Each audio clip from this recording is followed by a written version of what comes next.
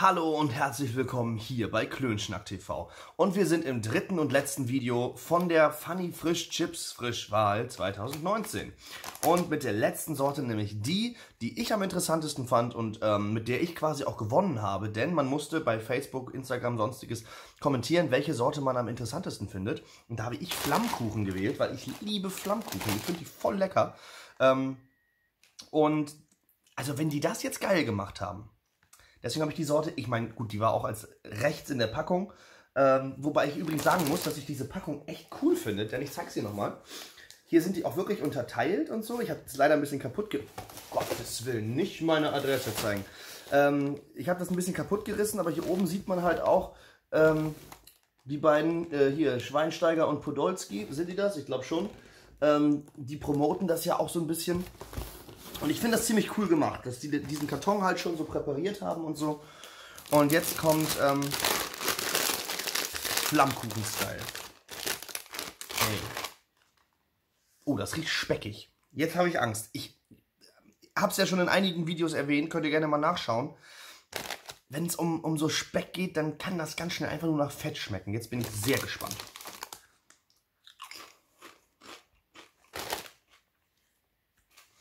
Und jetzt habe ich ganz vergessen, die Zutatenliste nämlich zu, vorzulesen. Kartoffelchips mit Flammkuchengeschmack.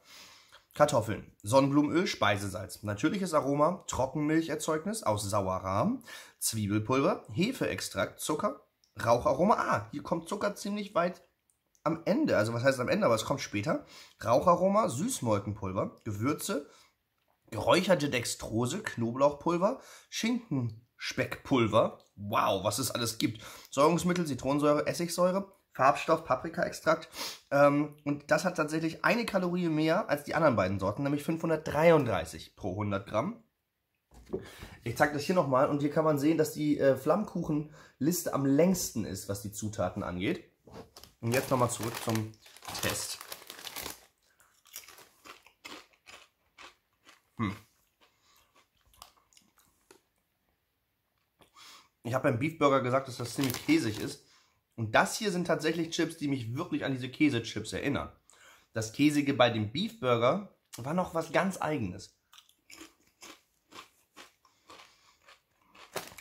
Um, ähm, dafür, dass es mein vorheriger Favorit war, hm, bin ich nicht enttäuscht.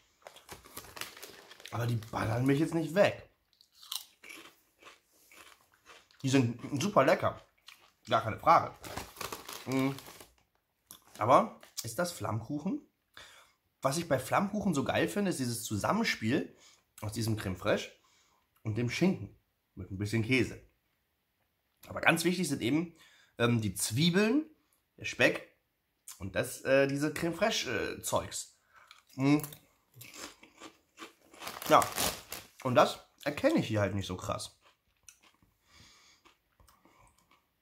Lustigerweise äh, haben die ganz viel gemacht mit Raucharoma. Die wollten dieses Speckding, äh, Raucharoma, geräucherte Dextrose, Schinkenspeckpulver und so weiter. Es ist sehr in diese schinkige, schinkige, rauchige Ebene reinge, ähm, reingewürzt. Aber gar nicht mal so käselastig eigentlich. Sauerrahm, ja. Aber irgendwie hat es für mich was super Käsiges, wie diese, wie diese Emmentaler Pringles. Ja, äh, nicht, nicht wie die Cheese and Onion Chips von, ähm, von Crunchips, sondern eher wie die Emmentaler Pringles. Das geht voll in die Richtung. Und das ist mir zu nah dran. An diesen Emmentaler Teilen. Schade.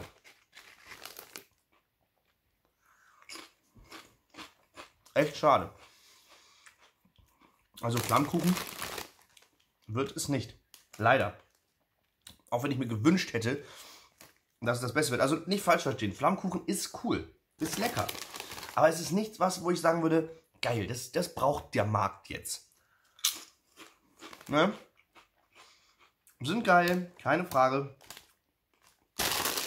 Aber mir zu nah an etwas dran, was ich schon kenne. So. Und weil das jetzt das letzte Video ist, werde ich jetzt hier im Finale nochmal Salsa und Lime und Beef Burger direkt miteinander vergleichen. Direkt hintereinander weg. Wir haben hier einmal Salsa und Lime. ist schon interessant. Ein Beefburger. Tatsächlich. Also jetzt, ich mache noch einen letzten Geschmackstest. Einmal Salz und Lime. Hm. Irgendwie habe ich gerade so das Gefühl, dass da so eine leichte Suppengrünnote drin ist.